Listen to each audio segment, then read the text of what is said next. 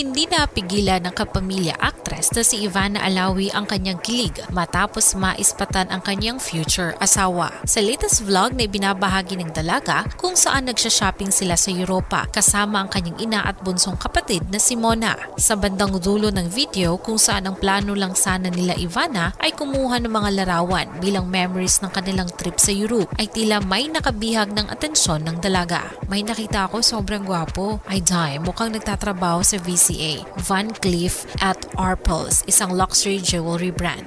Bibili talaga ako sa VCA. Ang gwapo, todo ngiti at kinikilig pang sabi ng dalaga.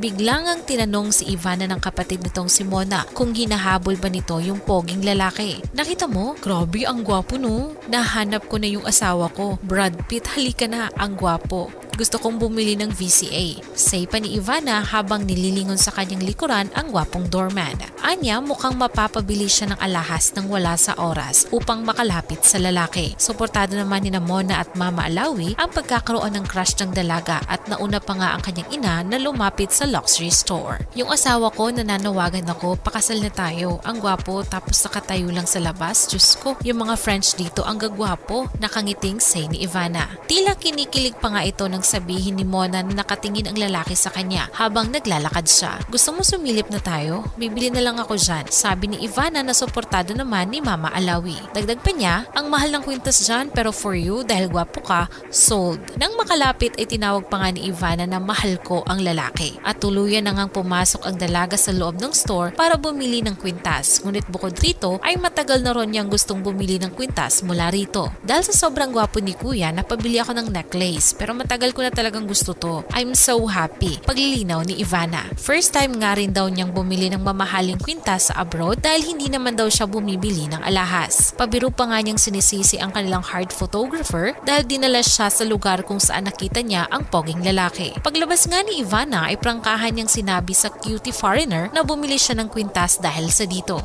You know, I bought this necklace because of you. Because you're cute, sabi pa ng dalaga. Nagulat naman ang lalaki at natawa sa ginawa ni Ivana. O ba diba, ang kapal ng mukha ko, pinaglalaban ko ang Pilipinas. Nakukitan lang ako sa kanya pero hindi ko siya jojowain. Aasawahin kasi gusto ko Pinoy. Ganun po ako rito kasi hindi naman nila ako kilala. So malakas ang loob kong lumande. Proud na sabi ni Ivana Alawi. Para sa inyong reaksyon, mag-comment lang sa baba at click the notification bell. Huwag kalimutan mag-subscribe sa The Showbiz Caster. Maraming salamat!